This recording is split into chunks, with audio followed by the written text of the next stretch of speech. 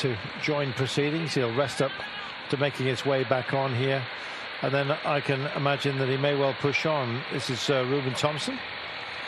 He's just going to give himself a little bit of sustenance. And it looks like um, that gap is now extended. So the record will show that these two plus Louis up the roads will make up today's podium. But what a day it's been.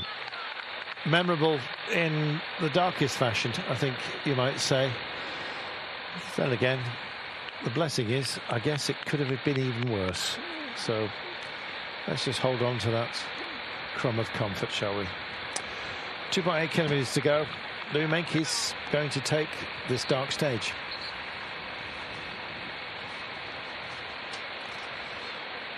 Difficult for the riders as well, Brian. You know, just to sort of try and clear the mind and and uh, and get on with the task that they're required to complete. And so, I give them credit, nothing else, um, from just doing what they've been told to do, and just uh, try and park this day. Eh? The thing is, Carlton, I've been in pr pretty much every kind of facet of, of this sport, from sports directing to race control, as a rider, um, involved in the media. So it's, it's kind of very unique position that I've been in in the past, and you know I've got many kind of hats, and over all these hats, it's just always a very difficult decision to make, no matter what kind of area you're in. As a sports director, you just want the safety of your riders, same as race control. Um, everybody wants just the safety of the riders. We we know that everybody is you know conscious and talking and you know in the best hands, but as a rider, I've, I've never been in a situation where I've had to race after an incident like this. This mm. is a kind of first for me, and you know, I've, if if I was Louis' manager like I was in the past, I wouldn't like to put him in this position.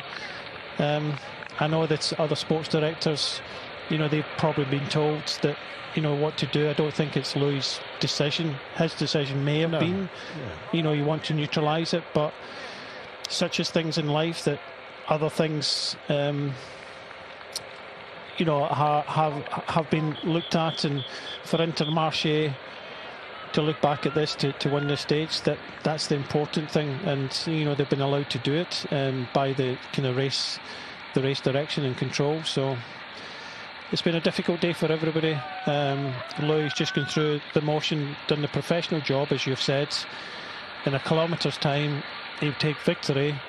Um, and that will be just the end. Close the doors, move on. Um, but it's just to lose the riders that we've lost today with that major incident is. It's just it's, it's terrifying that um, you know we're still reminded all the time that you know this sport this sport of ours is, is brutal at times.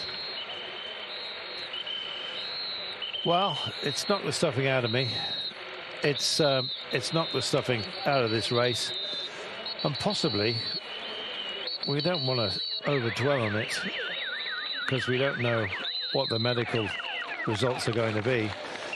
It may well have compromised the season and indeed some careers. Let's just hope that that's not the case.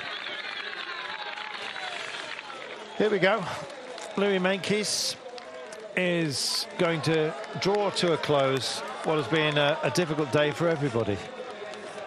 Both the riders, us as commentators, and you at home. And we, we thank you for your kind thoughts and indeed uh, your sensitivity on a, on a day like today. Nobody, I don't think, has been to blame. It was a very strange place to have an incident. It didn't look like an overly focused corner. I believe there was a fuel spill there that made the road surface unstable. We'd already had a preview of it from our breakaway with a crash, and then, of course, the incident that followed. Louis Meintjes raises his arms in a half-hearted manner, shakes his head, and they will, of course, sprint for second place here. But it prevents a hole in the race results, I guess. They will time everyone over the line simply to find out where their position was on the day. But the times will not be held to account. And I don't think anyone can be either. it was just desperate ill fortune to my mind today. They padded up the corner that we saw.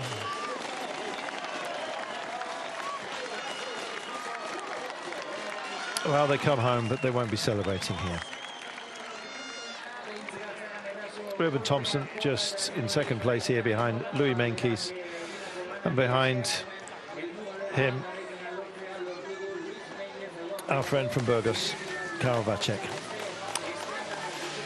Well, the breakaway still duking it out for coveted fourth, fifth, and ultimately sixth place here.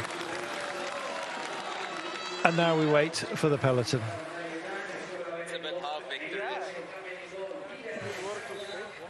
A bit of a hard victory, says Louis. Well, we're going to draw ourselves to a close here. Thank you for being so kind. And indeed, let's just think of the riders, shall we, before tomorrow.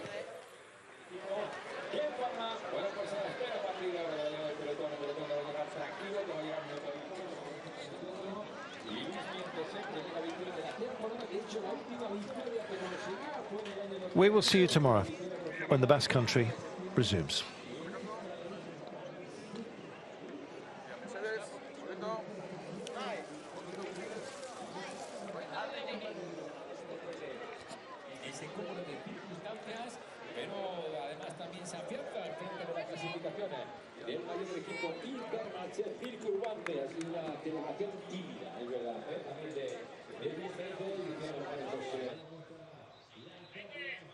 Luis Meintjes.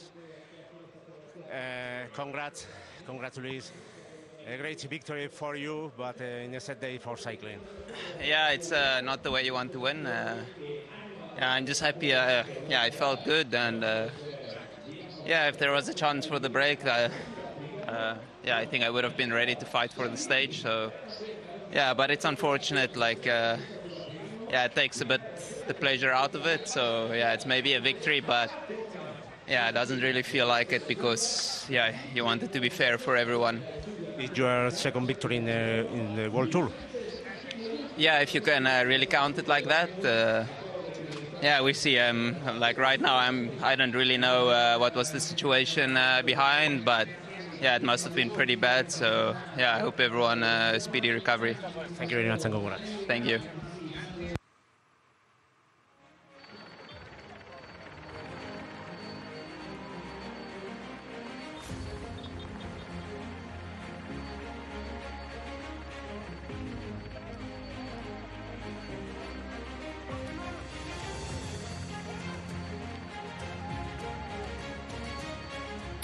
Well, once again, thank you for your company today.